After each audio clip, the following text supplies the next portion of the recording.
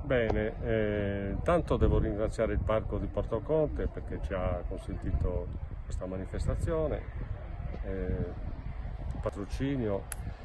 La, la- la giornata è andata bene, era un po' grigio all'inizio, poi piano piano la- si, è, si è schiarito, adesso abbiamo una bella luce, abbiamo visto molte- molti, molti uccelli, molte cose, in particolare adesso dietro le nostre spalle sono andati via due falchi pescatori che hanno fatto un, ampio giro, hanno cercato di pescare, adesso si sono spostati.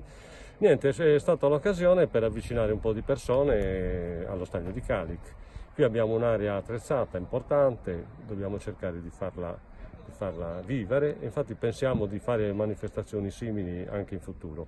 Però oggi si tratta di una gara, una gara internazionale che si chiama Euro Birdwatching, per cui ogni delegazione organizza un evento e chi vede più eh, animali, più uccelli e più specie vince. eh, c'è poi anche una specie che viene indicata come eh, misteriosa che chi ne vede di più vince cosa? Vince, vin- in effetti non vince nulla perché il premio è un premio simbolico, però ci serve soprattutto per avvicinare le persone.